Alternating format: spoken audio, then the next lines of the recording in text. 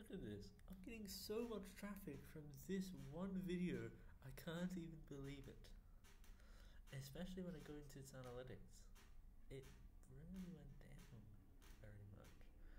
It went from 300 to 100, but still more views are coming. And that last one happened in only 30 minutes, so actually the video could be slowing down,